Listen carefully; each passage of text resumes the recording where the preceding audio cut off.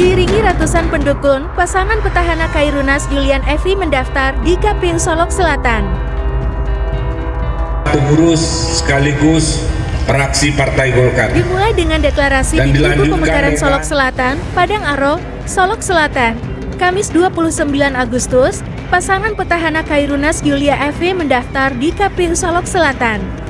Mengusung tagline dua periode Solok Selatan, lanjutkan. Duet yang tetap solid itu diprediksi akan kembali memimpin kabupaten itu lima tahun ke depan. Setidak-tidaknya itu terlihat dari mayoritas dukungan partai yang memiliki kursi di DPRD mendukung pasangan ini.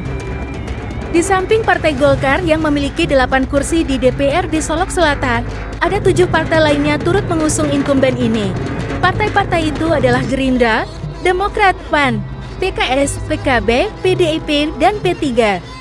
Dengan total 21 kursi dari 25 kursi di DPRD Solok Selatan yang mengusung pasangan Kairunas Julian Evi, harapan masyarakat untuk keberlanjutan pembangunan di daerah berpenduduk 182.000 jiwa ini sepertinya akan dapat terwujud.